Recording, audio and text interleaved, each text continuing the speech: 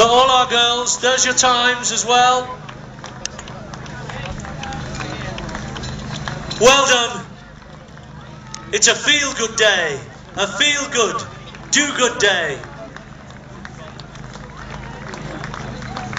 Well done, Liverpool. Thank you for your support as well.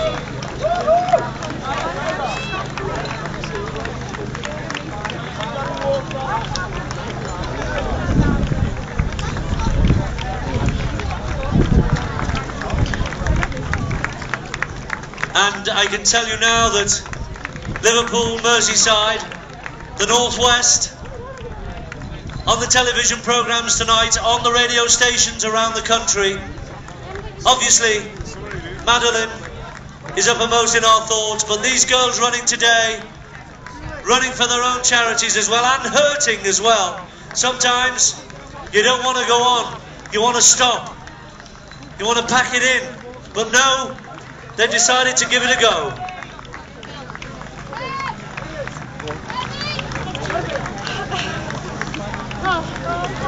Can the first three runners in the 10k please come to the finishing line? First three in the 10k, please come to the uh, finish line if you will please for our uh, presentation today. First three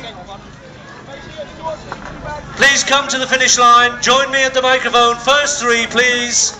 Make your way for the prizes. Prize giving. Congratulations to all our runners coming home as well. Some of these have never done it before. They've decided to give it a go.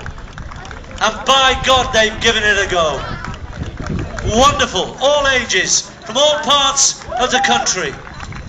Great to see so many with us, all ages as well, from young to housewives, to workers. It's great to see you home, safe and sound.